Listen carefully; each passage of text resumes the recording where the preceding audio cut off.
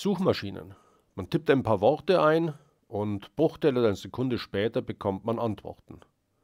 Machen wir das konkret. Sie tippen etwa ein Kurt und Melon in die Suchmaske von Google und eine halbe Sekunde später sagt Google, ich kenne 200.000 Seiten, die Kurt und Melon enthalten und die fünf wichtigsten sind zum einen seine Homepage, zum zweiten seine Seite bei der Max-Planck-Gesellschaft, zum dritten seine Seite mit einem Eintrag bei Wikipedia und zum vierten und fünften seine Einträge bei Literaturdatenbanken der Informatik, zum einen DBLP und zum anderen Google Scholar. Vier dieser fünf Seiten hätte ich auch genannt als die wichtigsten. Das heißt, es ist zum einen beeindruckend die Geschwindigkeit, mit der die Antwort kommt und zum anderen die Qualität der Antwort. Suchmaschinen haben aber auch ihre Grenzen. Wenn Sie die Suche erweitern zu Kurt, Mehlhorn, Ehefrau, dann bekommen Sie keine vernünftige Antwort.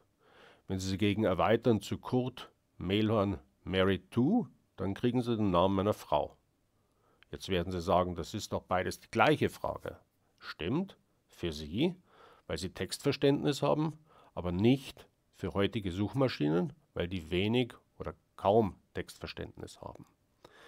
Ich werde Ihnen zeigen, wie Suchmaschinen funktionieren und werde Ihnen aus, auch einen Ausblick geben auf Suchmaschinen der Zukunft. Ich hoffe, ich habe Sie neugierig gemacht.